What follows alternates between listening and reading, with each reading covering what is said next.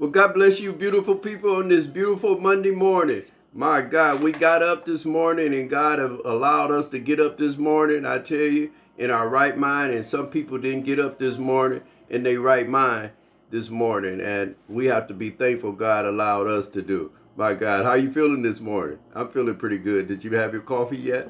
Well, I'm having mine. Is that all right? You got a moment? Oh, Notre Dame got a victory. Well, listen, this morning I want to talk to you uh, about something that I'm talking about Christian girls. This is what we're going to talk about Christian young ladies. Uh, let me say that girls should be uh, in school. Uh, Christian girls, young ladies, getting ready for their lives, getting their college together, uh, getting their, their car, buying them a car, getting your little apartment or trying to buy your house. It all depends on what age you are. Um, sister, stay at home with mom and dad. That's safe right now, and just grow your grow your life. Don't be so worried about trying to get no man. And I know church girls is, you know, I don't go nowhere. Everybody's going. It look like everybody's having fun, but you, that's not true. There's there's hell on that other side you're in the best place you could be going to church and being a good church. I want to talk out of a book of uh, out of Genesis, and this story is so familiar. It talks about Lot and his family, and I did a study on. I've been studying it for a week or so. Now I've been just trying to pull out. I understand because I study so much. I understand what God is doing uh, in this in the text of Genesis, and when Lot uh, and Abraham had got into it, basically. And, Lot told him, if you choose to go to the right, I'll go to the left. And if you choose to go to the left, I'll go to the right. Because Abraham didn't want no problem with the family. And that's what a lot of it. And this is what the Old Testament do. It gives us examples. God, I tell you, I give you examples in the Old Testament. But we always turn around on God and be like, God, why did you allow that to happen to Lot and his daughters? And why did his wife turn around and get turned into a pillar of salt? Because she was disobedient. Lot was really a hypocrite just to hurry up because I don't have long on the on the air. But uh, if, if if he was at my church, I would I could break it down a little longer because I have I would have a little bit more time. Um, but just to dive in it real quick, uh, we, this is coming. I'll give you the scriptures as I read. I want to read this in your hearing.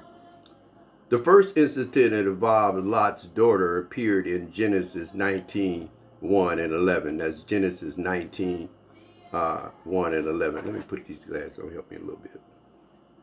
Two men who were angels appeared in Solomon, where Lot, where Lot lived with his family. The wicked men of the city surrounded Lot's house, seeking to have homosexual relationship. Homosexual relationship with the angels. Lot begged them Lot begged the men of the city not to do this evil thing, and he offered his two virgin daughters to them instead. Now, when you read this text, when I heard this text, I don't have a daughter, but I know brothers that you out there have daughters. Men be overprotected of their daughters. And a lot of times, men is really overprotected their daughters, watching their teenage daughters because you was a man and you know what you did to people's daughter. So you have to understand the Bible don't come back void. Whatever a man sows shall he reap. So a lot of fathers look at their daughters, especially when they get big, they're getting where men is starting to pay attention to them, things is growing on them. Men get jealous and be looking back to what they did and they nasty self. I'm telling you this, I'm telling you, I'm a man. I, I, and I don't have no daughters, but I can imagine what they're doing because I've ministered to so many men that be really mean to their daughters because they don't want their daughters to get done to them what they did to other people's daughters, if that makes sense. Let's read a little further. Homosexual relationship with the angels, Lot begged the men of the city not to do this evil thing. And he offered his two virgin daughters to them instead. Now, when I was searching this out, now, because here's the thing, you You have to pull out what God reveals to you. This is this is what church do. You have to read not just the surface. Yeah, I know what happened a lot. Uh, he was destroyed in Solomon and Gomorrah. You know that. Yeah, I know what happened a lot. Uh, his wife got turned into a pillar of salt. Do you know why? This is why I said we can't do surface teaching anymore. People really need to know what is the scriptures really saying. Why did this happen? And what is God trying to show us? And this is why I say you have to get a relationship with God because he can give you the mysteries and what he's trying to get out of it when you get a relationship. If not, you'll be asking all the time, why God do this? And why God let this happen? And why God let my house burn down? Why God let my uh, uh, job get lost? And why God let my mama die? And why God let my children get hurt? And this we start blaming. But you have to look at you, what you're doing, all the way up to what's happening. And it's not God's fault. Let's go deeper. The second incident in Genesis 19 and 30 through 38, after Lot and his daughters had fled to Solomon, just before it, its destruction, Lot's wife was destroyed for her disobedience during the journey. And Lot and his two daughters flee, flee to live in a cave in a mountain, afraid live in a cave, afraid they would never have husbands. That's the two daughters they're talking about. Afraid they would never have husbands. Sisters, you have to be so careful. Of, uh, uh, Christian girls, you have to be so careful of getting desperate. Desperate bring on on e evil thoughts and I gotta have it and I'm not gonna never get married. And, and mama, why I can't go to the party because everybody else going. Well, sometimes when you're called by God, you have to stay away from certain things, if that make any sense. You can't do anything. Afraid they would never have husbands or children. Now here we go. In their hideout, Lot's daughter plotted. Sisters, stop plotting on these men. Protect yourself. You're the one that's going to have a baby that guy is going to get up and go on his regular thing that he's normally doing, whether that's chasing other women or, what, or whatever. I know, guys, I know I'm, I'm, I'm messing you up a little bit, but I'm just trying to get these sisters to understand you have to protect yourself. And don't, don't get desperate because these girls were desperate. Now, when I read the story, that made me go back to the house. When the men was coming to get the, the men to be gay, Lot offered his two daughters. Was they in the house saying, well, let us go. Let us go. We can go out there. We can handle them. Let us go, Dad. Let us party with the men. Was they saying that? Come on, somebody. Because the show lets me know in here, after they had uh, afraid they would never have husbands or children in their hideout, Lot's daughter plotted. Now watch this. To make their father to make their father drunk. Now, me listening to the whole story, Lot was a mess too. Lot had been a hypocrite. When you read the story, Lot was a hypocrite too. And Lot was the judge of that village, so or that city. So Lot was a mess, and them people had no respect. When you read the text, they didn't have no respect for Lot because he in and out of church. And that's the way people do you when you're in and out of church. One day you at, at the Elks, twerping, blended up, twerking, and the next day you're in praise team. Oh, yeah, ding. The Lord don't know, you're right in the middle. He don't know who you are.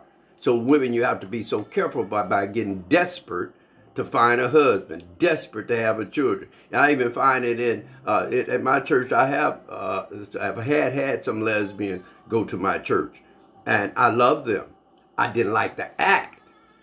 You see what I'm saying? And you have to be careful about like, well, you know, it's my daughter, it's my son. You have to love them. Yes, you do. But you have to constantly let them know that they're they might be going to hell by doing that. That is totally against what God is saying. You cannot multiply two men or women. Come on, somebody. He made Adam and Eve, not Adam and Steve. So it's not, I ain't tripping about it. I'm just saying we have to be so careful. So they plotted And there's a lot of situation in 2021 that I know by being a pastor for going on 11 years that I know men got trapped up by the girl knowing that she's going to get pregnant to get that man. And you can't do that. You can't make nobody into your life. God have somebody for you and a destiny for you. And we got to understand God's one day is three years to our one day. So God know what you're going to be doing or what you should be doing in the next three years if he allow you to live. If that makes sense. Let's go a little deeper. I apologize. It's going to be a little longer today. To the modern sensibility, it's hard to understand why, here we go, God would allow these two terrible incidents to occur. We are told in 1 Corinthians 10 11 that the record of the Old Testament, here we go, it meant as an example to us. In our words, God gives us to hold truth about biblical character. So God said, I'm letting you know about everybody. I ain't just just biting on y'all, beating y'all up. I'm telling you about the people that in the Bible had issues like you do. And I still used them, I still loved them, and I still took them to victory. You can say whatever you want about what God don't do, but you have to look at what he do do. Come on, somebody. What God do do. He do for you because right now, if you watching me, you can see. Imagine if you was blind. Can you hear me? God is always, you're breathing. You got up this morning in your right mind. Let me take these glasses off. Somebody might hit me in my face. God is always for you. It's time out for the saying God is not for you. God is for you. You got to be for him. And he's trying to show you in Genesis in the beginning. Oh, I don't do no Old Testament. I, don't, I just do the New Testament. He said, don't add and take away. You ain't that powerful to do that. And your suggestions of what you can use out of the Bible, that don't make no sense about you. That makes me feel that you just a hypocrite, think you know everything, and you need some Jesus, need to be saved, delivered, and have the Holy Ghost, and get your messy self right. It said we are told in 1 Corinthians 10 11 that the record of the Old Testament is meant as an example to us. In our words, God gives us the whole truth about biblical characters, their sins, their future, their victories, and good deeds. And we are to learn from their examples that to do and what not to do. In fact, this is one of the ways God teaches us what we need to know in order to make good choices as believers, as believers, church girls, believing girls. We can learn the easy way by knowing by knowing and obeying God's word. We can learn the hard way by suffering the consequences of our mistakes. My God. Or we can learn by watching others take heed from their examples. Come on, church.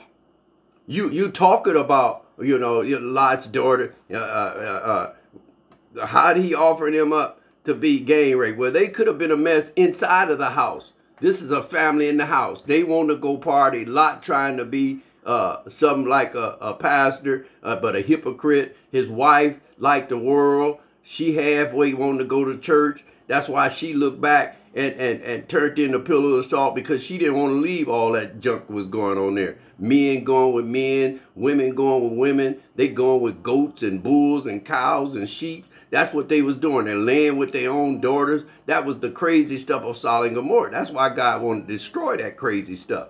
And this is where you have to understand when the world is crazy like it now, we we we got commercial with guys kissing each other, and we can't figure out why our children is tripping. The children, you put earrings in little boys' ears, and you got two daughters already. You have another little boy, and they playing with the dials. They got two earrings in. Your little boy got two earrings in. He don't know what he is. You don't watch him enough because you running after George that you trying to trap to let him take care of somebody else's baby. Come on, people. It's too much you trying to do to make your life right when only thing you need to do is put God and Jesus Christ in it. Put Jesus in your life. He'll straighten it all out. I was a mess. There my right hand is if you can't find yours. I was a mess. It was this word of God that straightened me out. Women, you cannot start getting desperate. Church girls get desperate. And only thing old slick guy come to church with you one or two times. Now, yeah, he don't mad to me. He gonna marry me. He don't meant more want you than nothing in the world. He done got what he want because you done got ease and gave that to him. Now you ain't looking like no church person to him at all. You should have held yourself and then this guy would be trying to marry you. You have to understand, if the guy got the cow, why would he buy the milk? The milk is in the cow. He don't need don't he don't need to buy your milk. He got that. Come on, somebody. God gives example in the Bible so we can straighten our messy self out. Lot household was a mess. Lot was a hypocrite, and then it tells even about drinking. There's so much in here I could take this. I'm gonna have to do a series on it because it talks about Lot and his drinking. Lot, you're not drunk from the beginning, and then you knew when you getting drunk if your daughter's pulling up on you. Come on, you you ain't that drunk. You know when a guy hitting on you and you getting drunk to, to lay with him to have his baby because everybody, girl, you need to get him, girl. I think he's trying to deal with some other girl. And you be plotting to get and trap him with a baby for real. So you running all over town looking behind car. Girl, don't eat. There he go. There he go. There he is with her. I knew he was. It ain't no time out for that. You're a wonderful maid. You're a beautiful woman. Come on, somebody. If don't nobody want me and walk, you can walk away from me without looking back. See you when I see you. My God, you're not gonna uh, you're not gonna do that to me. And that's the where we gotta be. Do not be desperate, Christian girls. Is that good? That was pulled out of the story of Lot. Them daughters could have been a mess. The angels was, was coming there, and when the men got to hollering, uh, bring out the angel, they could have been volunteered. I don't know the mysteries of the Bible. I don't know what was going on in that house. I'm only giving you what the Bible giving me. Then in my mind, in your mind, you got to put what God is saying. What you going to do? Are you be going to be homosexual? Don't seem like that was the greatest thing to do if God destroyed it for being a homosexual. Come on, somebody. Why would he destroy it? Then you have people, let me tell you something. I don't do no church. I don't do, but somebody praying for your butt. Screw, did I say butt? Excuse me. Edit that, take that out. Somebody praying for you. Somebody, Lot, cousin Abraham, was praying for him. He was asking God, you can quote me on this. If there be 50 righteous people in Sodom Gomorrah, will you not destroy that God? God said, if there be 50 righteous people, I will not destroy Solomon and Gomorrah. Lord, I know I asked you for the 50, but if there be 30, will you not destroy Solomon and Gomorrah? He's praying for Lot. That's why Lot got out of there. See, them mamas and grandmamas and people been praying for you. That's why you rolling like you doing. It ain't on you. If you would pray up to God and get a relationship, all your life would be smoothed out. Is that good? That's a good word for this is for Monday. Let me tell you something. If you went to church yesterday and you're a Christian, please show around whoever you're around that you're a Christian. I, I see too many Christians come into a place and I watch worldly people say, oh, here they come. I don't know who they're going to be today. If they Juanita buying today or Delilah, my God, please call me before you come to work. Let me know who you are. Well, listen, God bless you all. This is Monday. Be careful out there. Be safe out there. Do some uh, for someone today. If you see a problem, fix the problem. I love you all. Be blessed. And I love you. God bless.